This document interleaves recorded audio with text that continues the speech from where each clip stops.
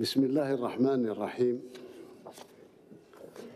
أصحاب الجلالة والفخامة والسمو.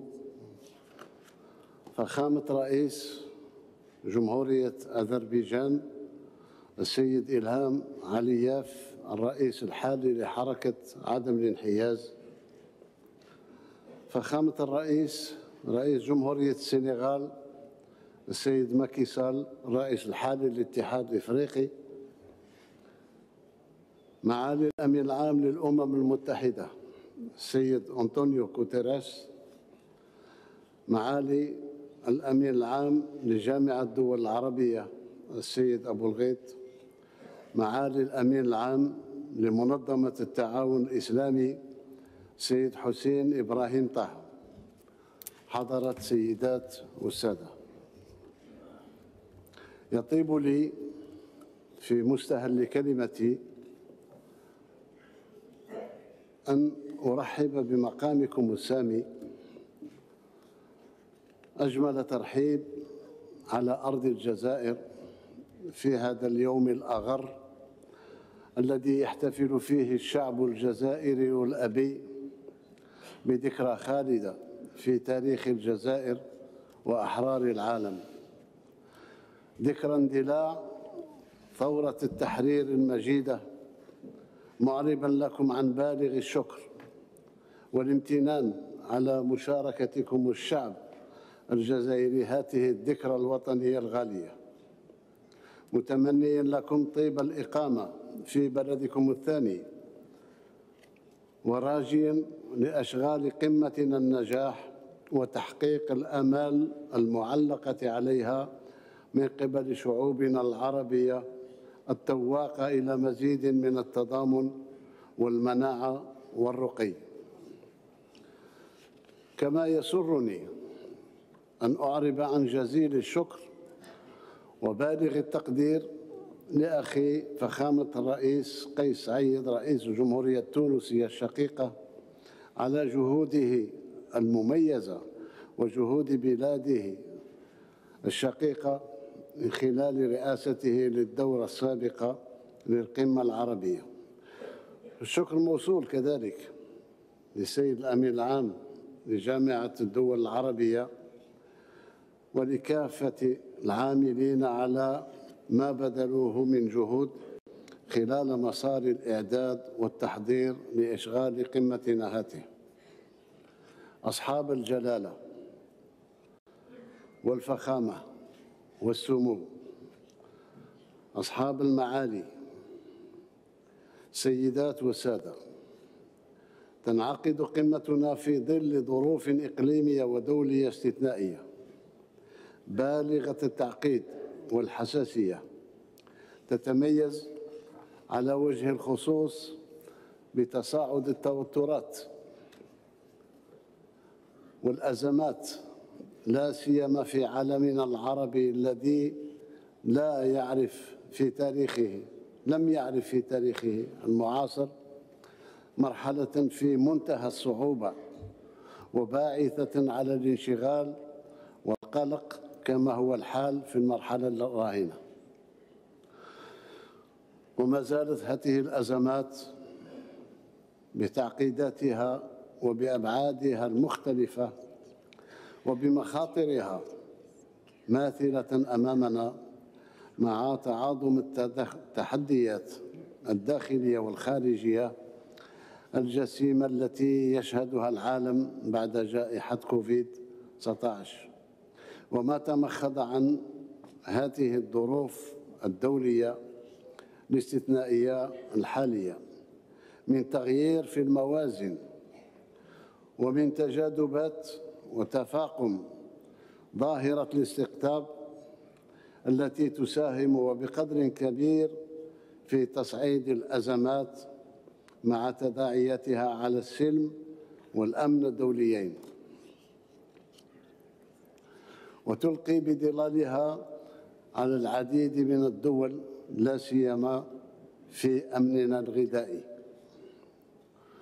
وفي ظل ما تتوفر عليه منطقتنا العربية من إمكانيات ومقدرات طبيعية وبشرية ومالية هائلة تؤهلنا أن نكون فاعلين في العالم كقوة اقتصادية. لا نقبل أن يقتصر دورنا الاقتصادي على التاثر ولا بد من استرجاع الثقة بأنفسنا.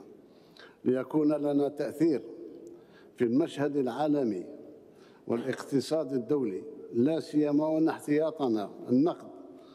النقدي لبلداننا العربية يعادل دخل احتياطي أوروبا أو مجموعات اقتصادية آسيوية أو أمريكية كبرى. وعليه يتعين علينا جميعا بناء تكتل اقتصادي عربي منيع يحفظ مصالحنا المشتركة مع تحديد الأولويات والتركيز على مجالات العمل المشترك ذات الأثر الإيجابي السريع والملموس على الشعوب العربية. أصحاب الجلالة والفخامة والسمو أصحاب المعالي السيدات والسادة. في ظل الأوضاع الدولية الراهنة تبقى قضيتنا المركزية الأولى القضية الجوهرية قضية فلسطين في صميم شغالتنا وعلى سلم أولويتنا وهي تتعرض إلى مساع للتصفية بسبب مواصلة قوات الاحتلال ارتكاب الانتهاكات الجسيمة من أجل بناء وتوسيع مستوطناتها غير الشرعية وقتلها الأبرياء واجتياحها المتكرر للمدن والقرى الفلسطينية ومصادرة الأراضي والممتلكات وهدم المنازل والمباني الفلسطينية وتشريد السكان الأصليين بما في ذلك من مدينة القدس الشريف وما صحبها من مخططات للتهويد الهادفه إلى طمس هويتها الإسلامية والمسيحية. وتغيير معالمها التاريخية والاقتحامات الاستفزازية لباحات المسجد الأقصى أولى القبلتين من قبل جيش الاحتلال الإسرائيلي والمجموعات الاستيطانية المتطرفة والحصار الجائر الذي تتعرض له مدينة نابلس إلى جانب اضطهاد الشعب الفلسطيني بحي الشيخ جراح بالإضافة إلى استهداف الأبرياء خاصة من فئة الشباب في ظل الصمت العالمي الرهيب.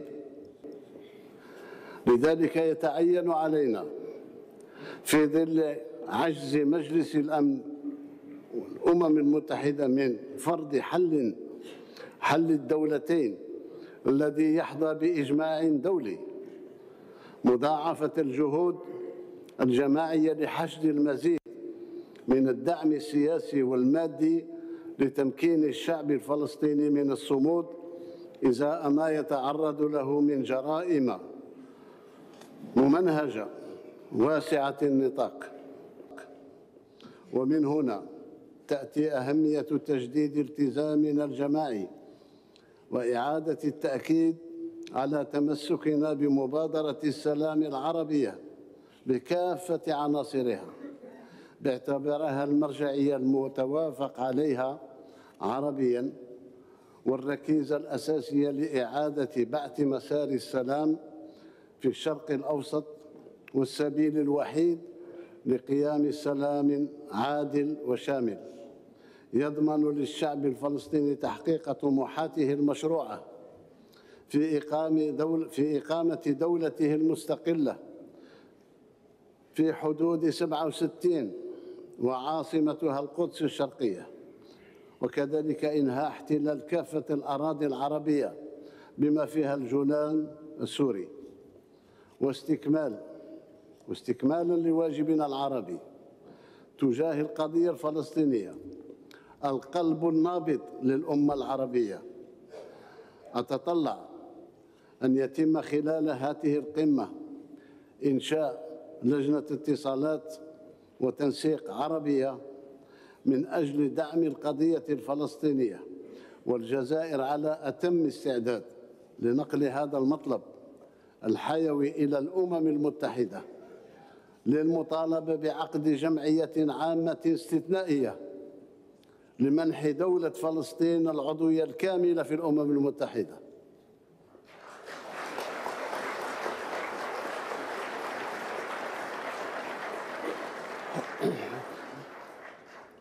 وبالمناسبة لا يسعني إلا أن أجدد التهنئة للإخوة الأشقاء الفلسطينيين على الاتفاق التاريخي الذي رعته الجزائر قبيل انطلاق القمة والمتمثل في التوقيع على إعلان الجزائر للم الشمل من أجل تحقيق الوحدة الوطنية الفلسطينية.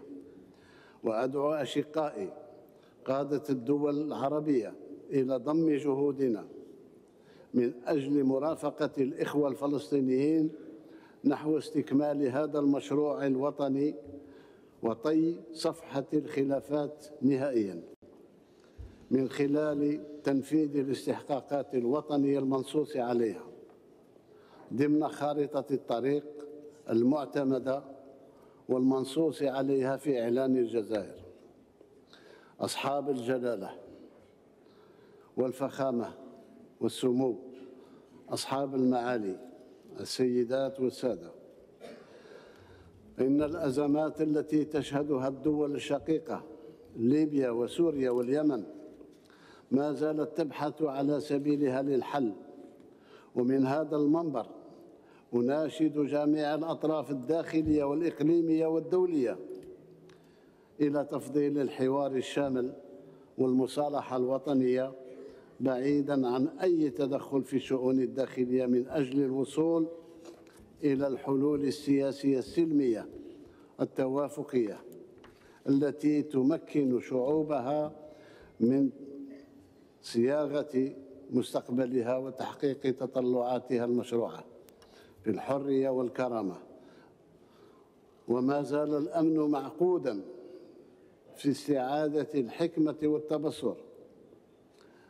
أن نستعيد زمام المبادرة من أجل صياغة السبل الكفيلة بحقن الدماء وعودة الأمل في البناء ولم الشبل العربي.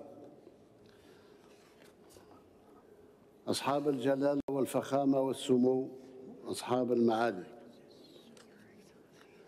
إن التحدي الإصلاحي أصبح اليوم أكثر إلحاحا وأشد حاجة بشكل يتطلب منهجا جديدا للمعالجة بكل مسؤولية ومصداقية.